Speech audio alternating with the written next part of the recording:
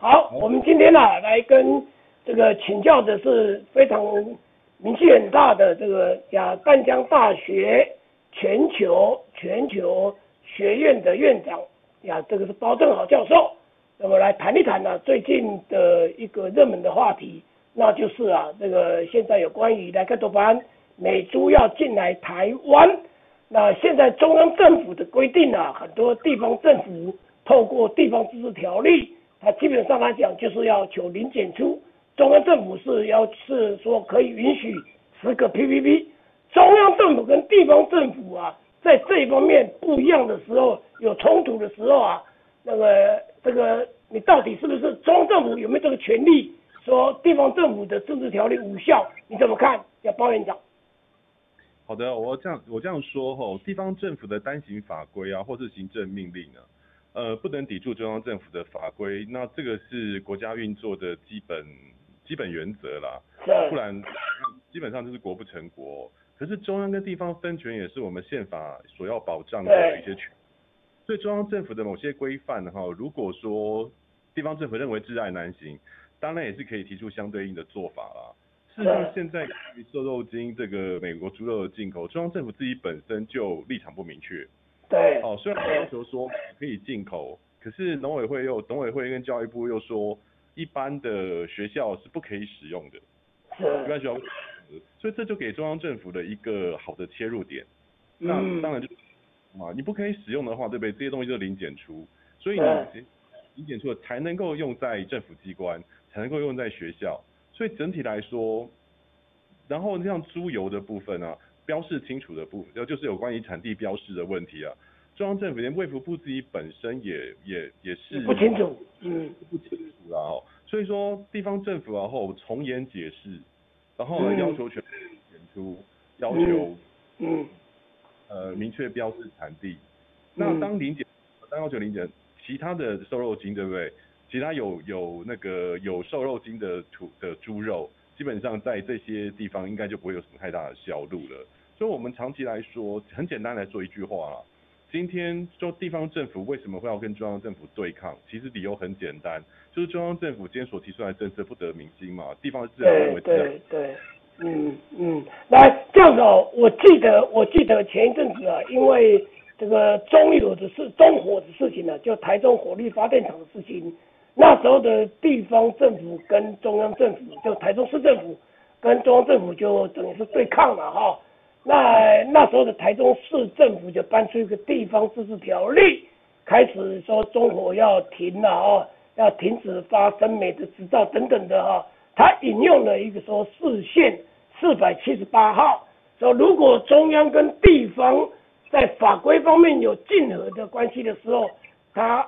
尽量的要尊重地方自治。就这个观点，当然我看了其他的一些的案例啊，他也是有说应该要尊。这个地方的，即便自治条例的话，不可以违背中央的一个法规。那这两个东西啊，现在中央是用行政命令，那地方是用地方自治条例，这个两个之间的一个竞合，你怎么看？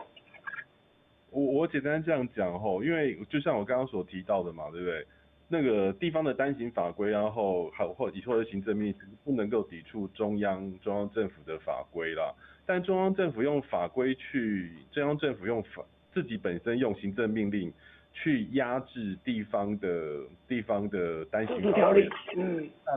其实不是很妥当，这对不是对对。换句话说，我们今天要强调的一点是，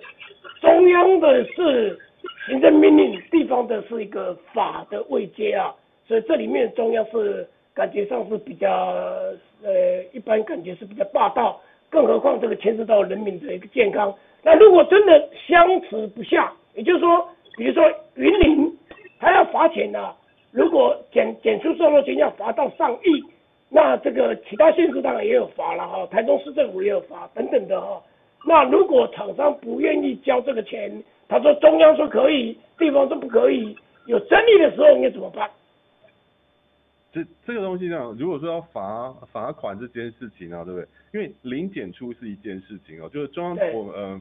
要我们的零检出恐怕只能放在特定的地区，比如说，因为现在中央政府本身是说可以开放瘦肉精使用嘛，对不对？然后可以然后但是呢，不得不可以用在学校，不用在学校。零检出，说用在学校这些地方的时候，必须要零检出了，你必须要零检出。那我我们能够做的说，不，你不能直接零检出的时候就就检出就直接罚人家钱，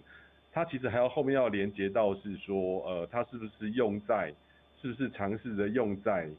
呃，用在地方呃地方上像学校啊这些地学校啊地方机关，如果没有这一个，他必须要两者结合啊，就是双方都没有别绝对必赢的，呃，说绝对必赢的一个途径。我听懂，反正就是中央跟地方啊，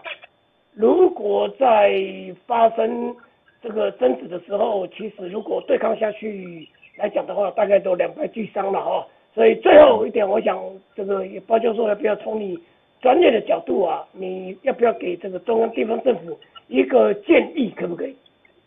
我觉得很，真是很简单的一件事情哦，就是说这次美国猪肉进口啊，它其实真正的环节是。